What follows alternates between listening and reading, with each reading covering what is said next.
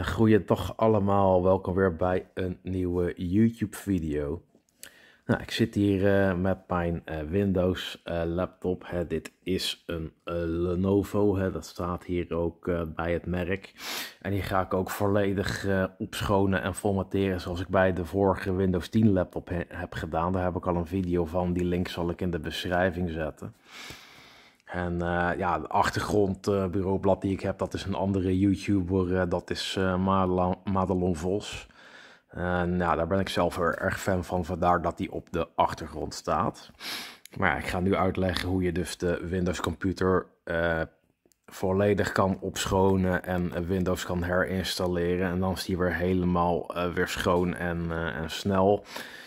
En de vorige computer was natuurlijk een Windows 10 uh, eh, laptop en dit is een Windows 11 laptop. Hè. Dus dit is uh, Windows 11.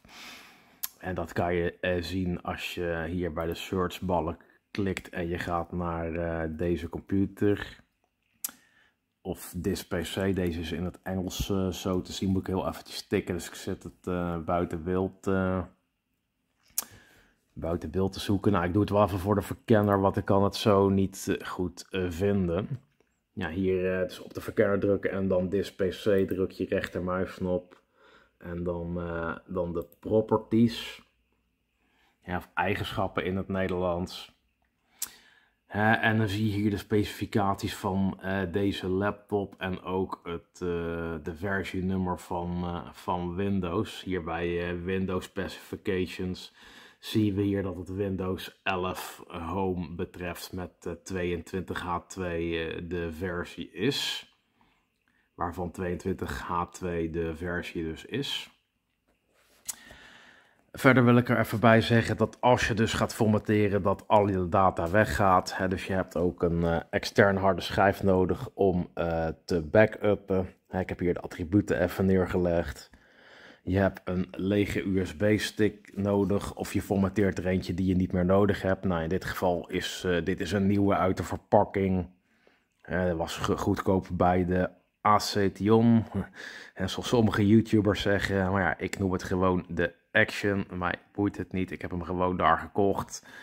En ik zeg gewoon de naam van die winkel en het, het, merk is dan SanDisk, maar ja, dat maakt dus ook helemaal niet uit. Ik heb het gewoon allemaal van mijn eigen geld uh, gekocht. Het, kost ook geen rol. Het was uh, eh, 10 euro of 15 euro, ik weet het niet eens meer. Dus het was uh, erg weinig.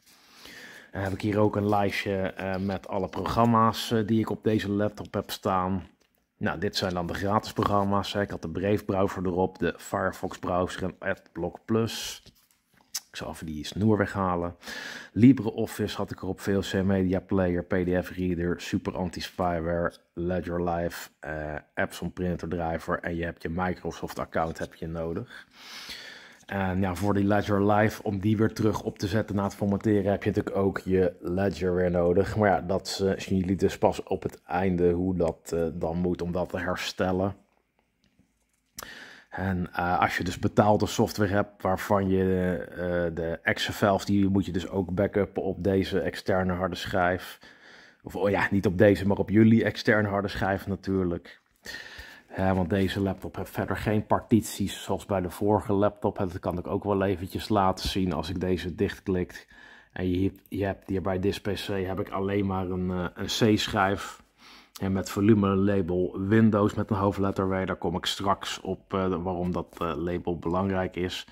En uh, nou kan ik echt nu eigenlijk wel vertellen, als je dan ook een tweede magneetdisk hebt en je hebt het verkeerde volume label, dan delete je dus juist je backup en dat wil je niet. Maar ja, hier hebben we maar één schijf. Dit is gewoon één grote solid state drive van 500 gigabyte. En zoals jullie, zoals jullie zien staat hier 475 gigabyte.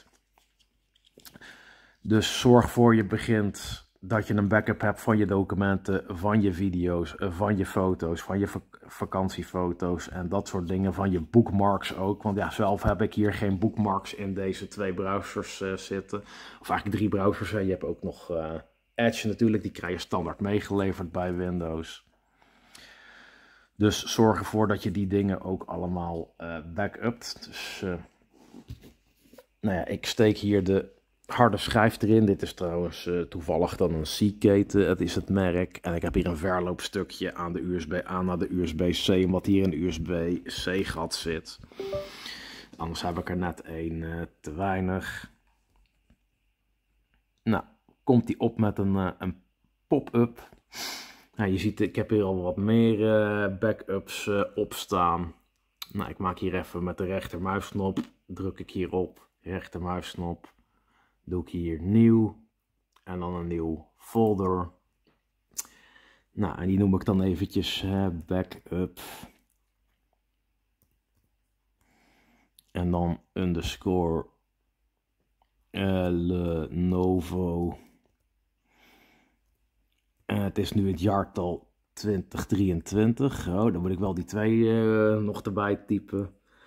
die noem ik dus even zo. Backup Lenovo 2023. Nou, die uh, ga ik op, op klikken. Nou, dan klik ik hier uh, deze nog eventjes weg. Klik ik hier aan de onderkant nog een keer met de rechtermuisknop. Ja, en dan uh, documenten. Nou, dan heb ik hier dus al mijn documenten. Ja, ik zie nog wel een paar bookmarks staan die ik ooit had en een paar cv's. En uh, apps van printerdrivers hier zo bijvoorbeeld. En van, nog wat data van het uitzendbureau waar ik een keer voor heb gewerkt. Nou, wat we doen is je drukt uh, om dit allemaal te kopiëren op de Ctrl en de A-toets. Ctrl A en dan Ctrl C om te kopiëren. Ja, Ctrl A is alles selecteren, Ctrl C is kopiëren. En dan maak ik hier nog even eerst nog rechtermuisknop en dan nog een nieuw mapje aan, anders wordt het één grote zooi natuurlijk. Dus rechtermuisknop, nieuw en dan map of folder. Ik heb een Engelse versie van uh, Windows 7. Nou, docu's. Noem ze maar even heel lelijk zonder hoofdletter. Docu's gaan we daarin staan. En dan druk ik Ctrl-V in, maar je kan natuurlijk ook rechtermuisknop en dan op uh, plakken of paste drukken dat is uh, dit symbooltje tegenwoordig in, uh, in Windows 11. Nou, en dan plakt hij dus uh, al die, die documenten, die maakt hij een backup van. Die backup die staat dus nu fysiek op deze harde schijf hier, fysieke externe harde schijf. Hè, met de bookmarks, dat kan ik nog wel even laten zien bij bijvoorbeeld Firefox. Start ik hem op. Hier moet ik even not now in klikken. Heb hier bij de rechterkant menu en dan bookmarks. Ja, en dan hier kan je bij de onderste manage bookmarks kiezen. En dan heb je hier import en backup. En dan met backup kan je ze dus eh, exporteren in een JSON-file. En dan ook weer opslaan eh, op die externe harddisk. Nee, dat ga ik hier niet doen, want ik heb hier geen eens bookmarks. Dat heb ik allemaal uh, op mijn Mac wel staan, maar op deze computer heb ik geen bookmarks. Nou, voor uh, Chrome en uh, in dit geval dan Brave is het hetzelfde. Je hebt hier dit menuutje. Nou, dan druk je op Bookmarks. En dan heb je hier ook weer Bookmark Manager. Nou, dan kom je dus op deze pagina terecht. En dan heb je hier het, het hamburgermenuutje met die drie puntjes. En dan kan je hier Export Bookmarks zetten. En dan krijg je een HTML vorm. Nou ja, ook hier druk ik op cancel, want ik heb zelf geen bookmarks. Maar ja, jullie moeten dat natuurlijk wel doen als je bookmarks uh, hebt. Sluiten we dit eventjes weer allemaal af. Nou, als je dan ook nog betaalde programma's hebt, uh, zorg dat je de keys uh, opslaat. als je KeyPass databases hebt, zorg dat je ook daar een backup van maakt want alles gaat ook echt weg. En uh, ja, ik controleer dat altijd door in uh, de, de C eh, schrijf te kijken en dan program files. Nou, in dit geval zijn het allemaal gratis programma's en Windows zelf. En ook bij de x86, hè, dat zijn nog de 32 bits programma's. Nou, staat eigenlijk ook niks van in. En uh, nou ja, dan kunnen we dus uh, beginnen met het, uh, het volgende stapje. En het volgende stapje is de Windows Media Creation Tool downloaden. Dus tot zo, tot dat stapje. Nou, hallo allemaal, daar ben ik dus weer met de volgende stap. Nou, de volgende stap is je opent je browser en je tikt in microsoft.com slash software-download slash nou, Windows en dan je versie, in dit geval Windows 11. En ik zeg er ook nogmaals bij, dit werkt dus alleen met een legale key. Als jij geen legale key hebt, dan gaat het allemaal niet werken en gaan er allemaal dingen mis. Dus doe het alleen met een legale key en anders heb je dus pech, en anders uh, gaat het allemaal niet meer werken. Dan heb je hier uh, op deze site twee uh, opties. hier, dit is dan de bovenkant. En hier krijg je trouwens ook die versie 22H2 ingebakken, dus dat is wel fijn. Hier heb je dan een keuze voor Windows 11 Installation Assistant. Nee, die willen we niet. We willen een, een bootable USB-stick maken. Dus je kiest hier voor Create Windows 11 Installation Media. Nou, en nogmaals disclaimer, dit werkt alleen als je een legale key hebt. Dus als je de laptop gewoon bij de winkel hebt gekocht of online hebt gekocht. Bij een officiële winkel. Of dat je de, gewoon de Windows key zelf nog hebt, dat je de Windows uh, software hebt gekocht. Dus doe het alleen uh, als je dat hebt gedaan, want anders gaat het niet goed. Nou, klik je op de knop Download Now. Die heet uh, Media Creation Tool Action. Nou, dat klopt. Nou, druk je op Save. Nou, en dan wordt die hier uh, gedownload. Nou, wordt nog even virus uh, gecheckt. Nou, dubbel klikken we hierop om te openen. Nou, moet je hier nog een ja of een yes meegeven. Ja, ik heb allemaal Engels, dus ik praat ook in het Engels. Nou, dan doe ik de browser even weg, dan zie je het wat duidelijker. Dan zegt hij getting a few things ready. En dan moet je de licentievoorwaarden accepteren. Dat is dus dat je dus een legale key moet hebben en dat het niet hun schuld is als alles weg is en alles kapot gaat enzovoort enzovoort enzovoort. Dus hier druk je op uh, accepteren. Nou, getting a few things ready. Dus hier gaat hij wat dingen uh, voor voorbereiden. Nou, hij heeft voorbereid. Nou, we zitten nu met de taal Engels van United States. Nou, dat klopt in mijn, in mijn geval. In jullie geval is het waarschijnlijk gewoon Nederland-Nederland. Nou, de versie van Windows is wel Windows 11. En hier hebben we het Use the recommended options for this PC. Nou, in dit geval wel, want we gaan namelijk deze PC helemaal volledig opschonen. Deze Lenovo laptop. Doe je dit nou voor een andere PC, dan vink je dit vinkje natuurlijk uit. Dus drukken we hier op uh, Next. Nou, wij gaan een uh, USB uh, flash drive maken. Hè? Dus de bovenste optie die staat al aangevinkt en die moet minimaal 8 gig zijn. Nou, ik heb er hier eentje van zelfs uh, 32 uh, gig, dus dat is meer dan genoeg. Die zal ik er trouwens eerst even hier instoppen. Dat is wel handig namelijk. Ik heb hem erin gestopt. Nou, komt hier met een pop-up. Nou, dit is een hele lege nieuwe USB-drive. Die heet ESD USB-E. Dus die kunnen we weer sluiten met het kruisje hierboven. Nou, USB flash drive drukken we op next. Of volgende als je een Nederlandse versie hebt. Nou, ik heb hier de backup harde schijf nog aangekoppeld. Dus let er ook op dat je de goede disk pakt. Dus in dit geval is het de e ESD USB. Want als ik de bovenste pak, dan gaat hij deze overschrijven en dat wil je niet. Dus let daarop of haal van tevoren na het backup maken je disk eh, eventjes uit de USB. Die zit hier natuurlijk nog, uh, nog aangesloten. Maar ja, in dit geval weet ik zeker dat het de ESD USB hebben, moeten hebben. Dat hebben we net gezien. Nou, klikken we hier op volgende of op next. Nou, getting a few things ready. En ja, wat hij nu gaat doen, hij downloadt de Windows 11 image van het internet en uh, de ISO-file die pakt hij uit op de USB-stick, zodat het een bootable USB-stick uh, wordt. Dus dat gaat hij nu doen. Nou, dat proces uh, duurt een, natuurlijk een tijdje, dus dan ben ik daarna bij jullie terug voor wat er verder moet gebeuren. Dus tot zometeen. Nou, hallo allemaal, daar is hij weer. Nou ja, na een minuut of 10, 15, dan zegt hij, your USB flash drive is ready. Nou, dan hoef je alleen maar op finish te drukken hier zo. En dan gaat hij nog het een en ander opruimen wat hij op de computer heeft gezet. Nou, dan is hij klaar. Gaan we heel even voor de zekerheid eruit werpen. Dus je klikt hierop en je klikt hier op rechtermuisknop. En we doen alle USB'en eruit gooien. Dus deze, dat is die disk hier zo. Die moet eruit. Nou, dan zegt hij safely to remove hardware. Nou, dan trekken we deze er hier uit. Op deze manier. Doen we dus nog een keer voor die, eh, die USB-stick. Deze en dan rechtermuisknop. En dan kan die USB er ook uitgetrokken worden. Die zit hier aan deze kant erin. En dan gaan we wel even testen of die het wel doet. Dus we steken hem er weer in. En dan moet hij met een pop-up komen met uh, een, een boot folder, een AVI folder, een autorun, een boot file, een boot file en een setup exe.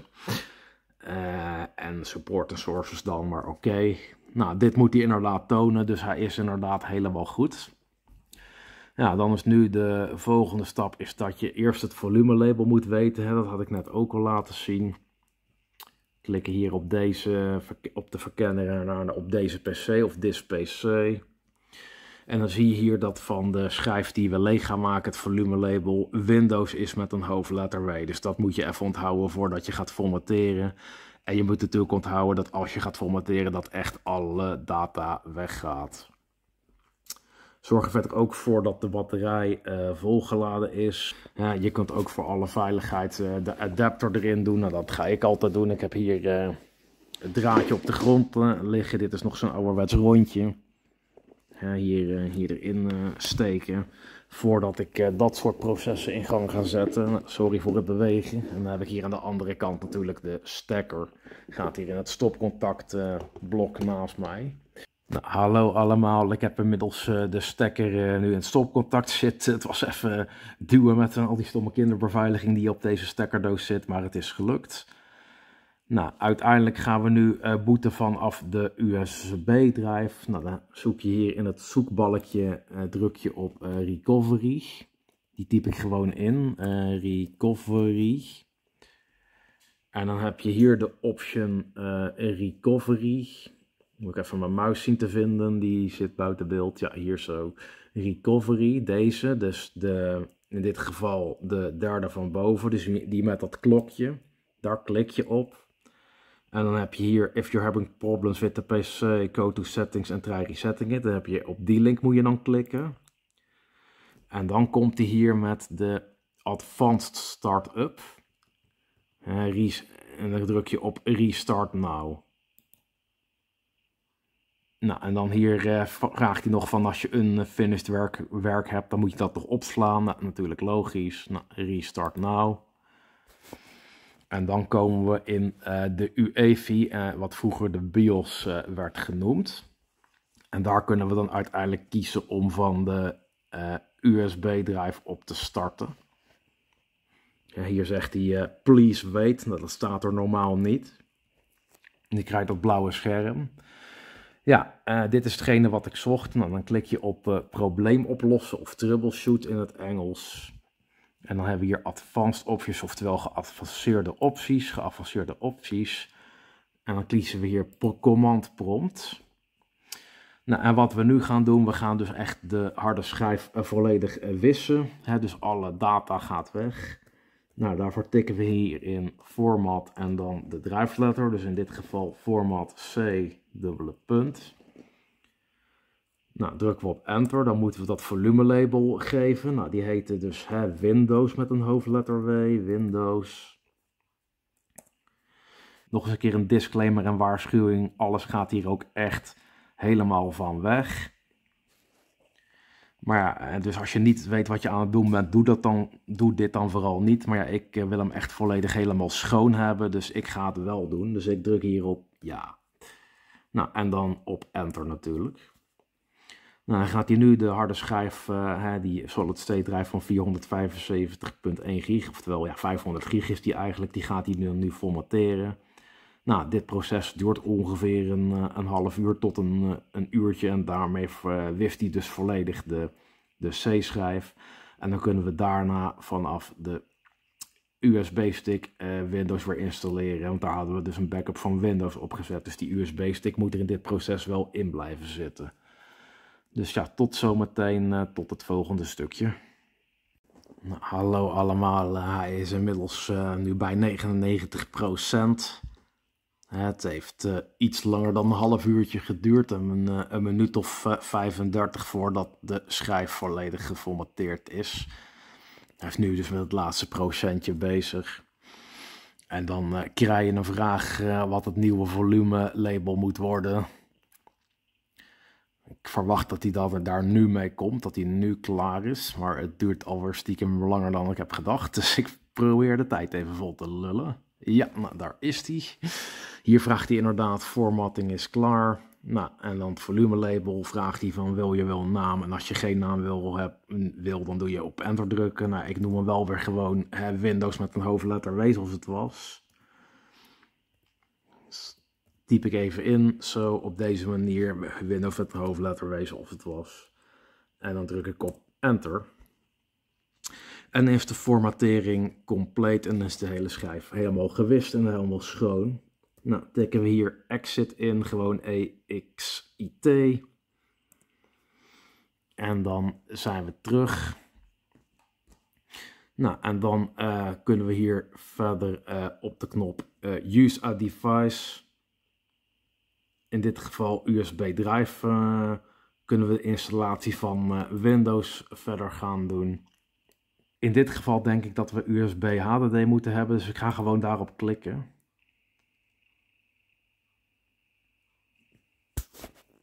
Oh, dan gaat hij alsnog uh, restarten. Dat was eigenlijk niet de bedoeling, maar oké. Okay. Denk niet dat hij dit gaat doen, eerlijk gezegd. Oh, toch wel. Hij boet netjes van uh, de USB-stick af. En dan krijg je dus uh, dit menu voor je neus. Dan krijgen we, nou, English United States was deze laptop. Nou, Time Currency, dat gaat wel Dutch worden. Dus moet ik iets naar boven, naar de D. nou ja, iets. dat duurt zijn van heel veel Engelse dingen. Nou, Dutch, Nederlands. Klikken we hier aan. En het keyboard dat moet inderdaad op United States International zijn. Want uh, als je Nederlands toetsenbord kiest, dan krijg je allemaal hele rare instellingen. Nou, klikken we hier op Next. Nu klikken we op Install Now. En dan kan de installatie van uh, Windows gaan beginnen. Nou, je ziet hier een, eh, een zandloper in beeld. Gaat natuurlijk een uh, enige tijd duren. Je hebt je weer dat je die licentievoorwaarden moet accepteren. Dat je hier het vinkje aan moet klikken en dan op, uh, op next. En dan klikken we hier op custom Windows only. Nou, de partitie die we net hebben geformateerd, dat is deze. Hè, de Windows volume label die we hebben gegeven. En je zou hem hier ook nog eens een keer kunnen formateren. Maar ja, dat slaat nu nergens op, want hij is al geformateerd. Klikken we hier op next, oftewel volgende. Hier zegt hij als er uh, files op staan van eerdere Windows installatie, dan worden die uh, gemoved naar windows.old. Maar dat staan ze niet, want we hebben geformateerd. Dus kunnen we gewoon op oké drukken. En dan begint hij hier met de Windows installatie. Nou, dat duurt natuurlijk ook weer een tijdje, dus uh, tot zo, tot het volgende stukje. Nou, hallo allemaal. Uh, nou, na drie keer uh, reboot krijg je dit menu en dan moet je het een en ander instellen. Nou, we zitten hier in Nederlands. Nou, dat klopt. Dan moeten we hier op de grote knop yes drukken of ja, als je dus een Nederlandse versie hebt de keyboard layout, dat is inderdaad in Nederland de US. Dat is gewoon zo'n QWERTY toetsenbord. En dan uh, moet je dus niet Nederlands intikken, want dat gaat dan helemaal fout met tikken. Dus uh, US is in dit geval goed. Yes. Nou, wil je nog een tweede keyboard layout, uh, vraagt hij. Nou, skip, dat hoeft niet. En daar komen alle wifi's in beeld, dus die ga ik eventjes uh, niet filmen. Dan ben ik uh, na het wifi intikken weer terug bij jullie voor het volgende stukje, dus tot zometeen. Nou, na het intikken van de wifi, dan gaat hij voor updates meteen checken. Dus dat is wel handig. En waarschijnlijk ook erbovenop installeren. Dus ja, dit gaat weer een tijdje duren. Dus uh, tot zometeen, tot het volgende stapje. Nou, na de updates komt hij met de vraag of je nog een naam wil geven aan je computer. Nou ja, ik zeg gewoon hè, JW, JW's Lenovo, Lenovo. Oh, en ik drukte ergens op, maar ik kon hem niet eens meer, uh, meer intikken. Ja, ik drukte per ongeluk op de enter-toets. dus ja, nu zegt hij just a moment. Ik drukte iets te vroeg op de enter-toets. Maar ja, nu weet ik niet eens of een PC uh, een goede naam heeft gekregen. oh, dan krijg je dus gewoon een, een, reboot. Ja, dus nou boot hij weer gewoon vanaf de solid state drive die hier uh, onder het toetsenbord zit. Ja, want Windows is geïnstalleerd. Nou, ik wilde nog het woord laptop er eigenlijk achteraan tikken, maar ja, ik drukte dus per ongeluk op de enter-toets. Nou, gaat hij hier weer verder met het witte setup scherm. Ik zie nu alleen maar een rondje. Nou, hier moet ik nog mijn Microsoft account uh, intikken. Nou, dat ga ik ook eventjes buiten beeld doen. Dus tot zo, tot het volgende stapje. Nou, hallo allemaal. Uh, na het paswoord uh, resetten moest ik helemaal, want ik was hem al lang vergeten. Nou, is, kom ik uiteindelijk hier en dan krijg je hier een menu om te restoren. Nou, dat wil ik helemaal niet. Ik wil hem als een nieuw device. Dus dan kan je hier bij View More Options en dan kan je hier de bovenste knop Setup als nieuw device kiezen. Want ik wil hem helemaal schoon hebben, deze laptop. En dan druk je dus op uh, Next of volgende hier beneden. Want anders heb je het dus voor niks schoongemaakt. Nou, hier kan je dan nog een pin uh, kiezen. Nou, create pin. Nou, die ga ik even niet filmen. Dus ik film wel even naar uh, het sleuteltje hier. Oh, je ziet toch ook puntjes. Dus dat maakt eigenlijk niet uit. Nou, dan uh, druk je hier na het pin invoeren, druk je hier op de OK-knop. Ja, dan uh, is deze laptop beveiligd met een pincode. Ja, mocht iemand hem en jatten, dan kunnen ze er niet in, omdat het dus een versleuteld toegangssysteem heeft. Nou, dan moet je nog een, en ander instellen voor, uh, voor Windows. Nou, hè, of, om Microsoft je locatie te laten bepalen. Nee, daar heb ik allemaal zo'n hekel aan. En dan moet je hier alsnog op accept drukken. Om je device te vinden. Nou, nee, ik heb hem beveiligd. En uh, ja, jammer dan als hij dan uh, echt gejat wordt. Ik let altijd wel op. Nou, hier doe ik ook altijd required only. Die, de diagnostische data. En accepteren drukken. Nou, type verbeteren. Nou, leuk voor hackers, dus nee, doen we niet. En dan moet je weer op accept drukken. Tailored experience, dus een diagnostische gegevens. Nou, druk ook op nee.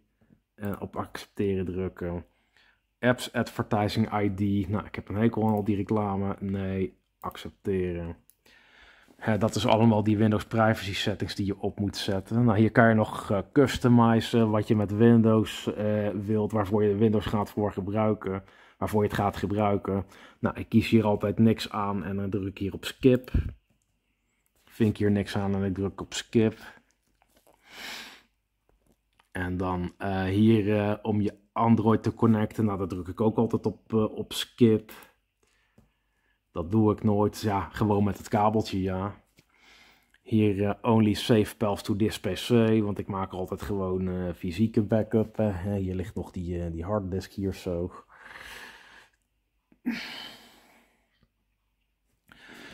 En dan gaat hij nu gaat hij, Windows opzetten en het, het persoonlijke profiel inladen. Nou, hier krijg je nog uh, een trial voor Office 365. Nou, die, uh, dat kost allemaal geld, dus dan moet je gewoon op decline drukken. En ik gebruik sowieso uh, LibreOffice. Aanbieding voor 100 gig van, van OneDrive. Nou, decline, geef maar mijn eigen fysieke backup. Wie zegt dat dat veilig staat in de cloud? En zeker bij Big Tech, ja, daar heb ik toch echt zo mijn twijfels over. En dan gaat hij hier weer verder met het checking voor updates uh, proces. Dus ja, dat gaat een tijdje duren. Dus dan uh, ben ik zo terug bij het volgende stapje, wou ik zeggen. Maar er gebeurt hier al iets. Hij zegt, hoi, hi, getting things ready for you. Oké, ja, this may take, take a few minutes. Don't turn off your PC. Dus dit gaat dus een tijdje duren en dan ben ik daarna bij jullie terug voor de laatste stap. Nou, dan is die uiteindelijk bij de laatste stap helemaal klaar. Krijg je dit menu te zien en je naam hier onderaan. En hier een, uh, een ding met messages dat die dus no disturb aan is. En dan kan je dus verder met de inrichting van je Windows laptop. Maar voor het laatste stapje wat ik zelf altijd nog doe is dat ik hier ga zoeken naar Create Restore Points. Te create en dan krijg je hem ook als eerste in de, de zoekbalk. Kijk, en dan staat hij hier staat hij nog uit. Dus dan doe ik hier uh, configure. En dan turn on system protection. En dan hier, uh, nou, doe ik gewoon max usage, apply en dan oké. En dan create ik hiervan, uh, druk ik hier op create of op aanmaken in het Nederlands. En dan doe ik, uh, ja, clean install noem ik die dan. Clean en dan underscore install en in dit geval doe ik het jaartal er ook nog even bij 2023. En dan druk ik op create. En dan maakt hij een restore point aan. Dus als het de volgende keer uh, dan iets is of je hebt een, uh, een vervelende update die het alsnog weer kapot maakt, dan kan je al meteen terug naar dit restore point in plaats van dat je weer de hele format gedoe overnieuw moet doen. Dat scheelt natuurlijk een hoop tijd. Ik zit even naar de klok te kijken. Ja, ik ben hier toch nu ja, met opname dan een kleine twee uur mee bezig. Zonder opname is het waarschijnlijk een uurtje. En dan kan ik nu uh, alle updates gaan installeren. Uh, en um, de Ledger Live applicatie terug installeren. Alleen dat ga ik niet meer in deze video doen, want dat gaat te lang duren. Deze video is al erg lang, dus ja, dit was hem wat mij betreft. Ik wil jullie eh, bedanken voor het kijken. Vergeet geen duim omhoog te doen als je het een leuke of interessante video vond. En als je er wat aan hebt gehad natuurlijk. En vergeet ook niet te abonneren. En dan zie ik jullie weer bij een volgende YouTube video. Dag allemaal.